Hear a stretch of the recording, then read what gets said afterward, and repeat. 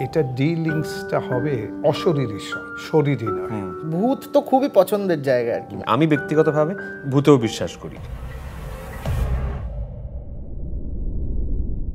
নমস্কার আমি পরমব্রত আর আমার ঠিক বাঁ দিকে এই মধ্যমণি হয়ে যে মানুষটি বসে আছেন তিনি হচ্ছেন সেই মানুষটি যিনি লৌকিক এবং অলৌকিক বা লৌকিক এবং পারলৌকিক এর মাঝখানে যে সূক্ষ্ম যে লাইনটা সেই লাইনটাকে আস্তে করে মুছে দিতে পারেন বিজ্ঞানকে সঙ্গে নিয়ে অতিবৈজ্ঞানিক বা আমাদের জাগতিক পরিধির বাইরে যাতায়াত যে মানুষটি অবলীলায় করতে পারেন, তিনি হচ্ছেন নীরেন ভাদুরী ঠিক ধরেছেন, আমি কথা বলছি আমাদের সকলের ভাদুরী মশাইকে নিয়ে।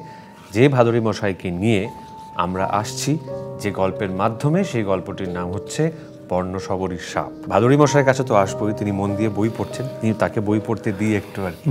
তবে এই ভাদুরী মশাই চরিত্রটি যিনি সৃষ্টি করেছেন আগে তার সঙ্গে একবার কথা বলি সৌভিক সৌভিক চক্রবর্তী। সৌভিক আহ, তুমি বয়সে যথেষ্ট অল্প তো এই এরম একটা চরিত্র তৈরি করার মা- ভাবনাটা মাথায় কোথা থেকে এলো? শীর্ষেন্দু মুখোপাধ্যায় হুমায়ুন আহমেদ পড়ে তো বড় হওয়া তো ভূত তো খুবই পছন্দের জায়গা আর কি মানে ভূতের সাথে একটা ভালোবাসা ছিল আর কি ছোটবেলা থেকে। তো সেটা হচ্ছে যে হঠাৎ করেই বাংলায় না তন্ত্র নির্ভর সাহিত্যের একটা হঠাৎ করে মানে জোয়ার এলো আর কি। মানে সবাই তন্ত্র নিয়ে গল্প লিখছে তো ওখান থেকেই আমার মনে হলো যে যদি লিখতেই হয় তাহলে এমন একটা গল্প লেখা উচিত যেখানে মানুষ আসলে ভাইটাল রোলটা প্লে করে। মানে এই ভাদুরী মশাই বলেন না যে ইন্টেলিজেন্স হচ্ছে যে পৃথিবীর সব থেকে বড় শক্তি।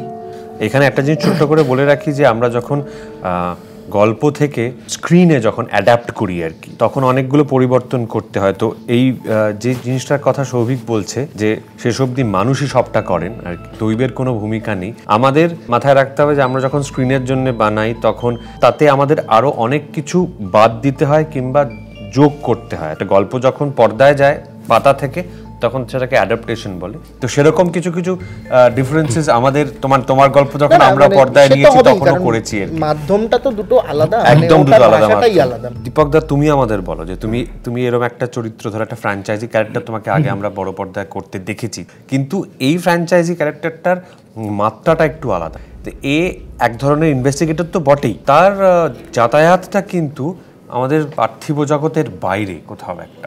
সেইটা তুমি কীভাবে রিসিভ করলে যখন আমি তোমাকে গিয়ে প্রথম বললাম জিনিসটা? এই গল্পটা শোনার পরে ওকে বললাম যে পড়ে নেব আমি। পড়ে আমার কিছু খুব ইন্টারেস্টিং লাগল। এই জন্য এর ভেতরে একটা কিছু নতুনত্ব আছে। এটা ডিলিংসটা হবে অশরীরীর সঙ্গে। শরীরই নয়। তো এইটা আমার কাছে খুব মজা লেগেছে।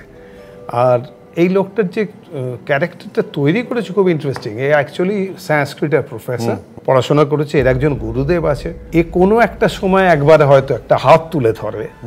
সামনে কেউ একজন ডাকিনি যোগিনী কেউ হতে পারে সে দাঁড়িয়ে যায় নড়ে না।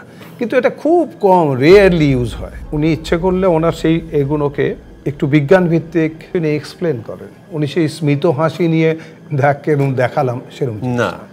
সেখানে ভীষণ বাস্তবের মানুষ। এক্সপ্লেন করেন উনি যখন পারেন না অপারগ হন এখনও বুঝতে পারিনি বলেন। ভাবছি চেষ্টা করব নিশ্চয়ই পারব। বিশ্বাসটা রাখেন এরা খুব রক্ত মাংসের মানুষ আমার ভালো লেগেছে। যেমন ধরো আমি আমি যখন এটা বানাচ্ছি তখন আমি অনেকের কাছে শুনেছি তুই বা তুমি এরকম একটা, ও, তোমার কি এতটা হরর ভালো লাগতো নাকি? আমি সবসময়তেই বলি যে হরর আমি তো হরর ভালো লাগে বটেই সুপার ন্যাচারাল স্পেসে যে কোনো কাজ ভালো লাগে। ভাদুরী মশাইয়ের অ্যাডভেঞ্চারগুলোর মধ্যে বা তার গল্পগুলোর মধ্যে যেগুলো আছে, কোথাও একটা আমাদের এই দক্ষিণ এশিয়ার মিথোলজির একটা প্রভাব সবসময় আছে। শুধু তাই না, আমাদের অশরীরী বা সুপারন্যাচারাল গল্পগুলোর মধ্যে কিন্তু এই মিথোলজির একটা প্রভাব আমরা দেখি। যে দেবতা বা দেবীকে আমরা পুজো করি তারই কিন্তু আরেকটা রূপ আছে যে রূপটা আমাদেরকে ভীষণভাবে রুদ্ররূপটা আমাদেরকে ভীষণভাবে কিন্তু ভয় পাওয়াতে পারে। এইটা তুমি যখন লেখা শুরু করলে তখন তোমার রিয়াকশন এই তন্ত্র এই শাস্ত্র নিয়ে একটু যদি বলো আমাদের। তো আমার এইটাই আসা হচ্ছে আমার ফ্যাসিনেটিং লাগে বলে আমার অসম্ভব ইন্টারেস্ট আমি ব্যক্তিগতভাবে আমি ঈশ্বরে বিশ্বাস করি ভূতেও বিশ্বাস করি। ঈশ্বর বলতে ধর্ম? না আমি ধর্মে বিশ্বাস করি না আমি ঈশ্বরে বিশ্বাস করি। এবার এই বিশ্বাসটা করলে পরে তখন আমাদের এই পার্থিব জগতের বাইরে যে আরেকটা জগৎ আছে, এই জগৎটাতে ফ্যাসিনেশনটা বাড়াতে বা ফ্যাসিনেশনটাকে হ্যান্ডেল করতে একটু সুবিধা হয়। না আমার তো ছোটবেলা থেকে আর শৈশব আমার একটা ফ্যাসিনেশন এই জগৎটার প্রতি আর কি। অবশ্য এতক্ষণ ধরে যে আলোচনা করছি তাতে আপনাদের একটু জটিল লাগতে পারে কিন্তু আমাদের এই সিরিজটা কিন্তু এত জটিল না। ইটস ভেরি সিম্পল এটা এন্টারটেইনিং লোকে কিন্তু আমি দু একজনকে মানে- আমি দু একজনকে এটা যখন সাবজেক্ট বলেছি বা করছি বলেছি কেউ কেউ বলে ও বাবা দেখব না। এসব ভ- ভয় পাই ভীষণ ভয় পাই। এরকম বলেছে। তুমি তো নানা রকমের কাজ করেছ নানা ধরনের ছবি বানিয়েছো। তুমি কেন ইন্টারেস্ট ফিল করলে? মানে আমার না হয় ফ্যাসিনেটিং লাগে বিষয়টা। মানুষ আসলে কিন্তু ভয় পেতে ভালোবাসে। আমাদের ছোটবেলা থেকে ভাবতে বা বুঝতে শেখানো হয় যে ভূত বলে কিছু নেই। আমি দেখলাম যেদিন থেকে আমি আত্মসমর্পণ করলাম যে হ্যাঁ আমি বিশ্বাস করছি আছে। সেদিন থেকে আমার ভয়টা চলে গেল কমপ্লিটলি বরঞ্চ সেই ফ্যাসিনেশনটা বেড়ে এই জগৎটাকে নিয়ে কাজ করার ইচ্ছেটা হঠাৎ করে নিভে গেল? ভয় পেল। আগুন ভয় পাবে আমার কথায় আমি অতি তুচ্ছ। এমনি আমাদের ফিল্মে একটা কথা বলে সেটা হচ্ছে ভূতের গল্প বা একবার দেখলে আর দেখে না লোকে। বা সেম কথা বলা হয় ডিটেকটিভ স্টোরিতেও আবার বলা হয় হাসির ছবিতে কিন্তু মজা হচ্ছে যে আমাদের বহু বছর ধরে চলছে হ্যাঁ। এইটা কিন্তু একটা ব্যতিক্রম। অ্যাবসলিউটলি থিওরির উল্টো যাচ্ছে আর কি সেই হিসেবে। সবসময় বলার যে there are more things in heaven and earth স্বয়ং শেক্সপিয়ার বলে গেছেন আমরা না মানার কে? তাই না? দেখা হবে পর্ণ সবরী সাপ নিয়ে হইচইয়ের পর্দায় ভূত চতুর্দশী থেকে উপস দেখলেন তো? এই সমস্ত কাণ্ডকারখানা আছে। দেখতে ভুলবেন না পর্ণসগরীর সাপ।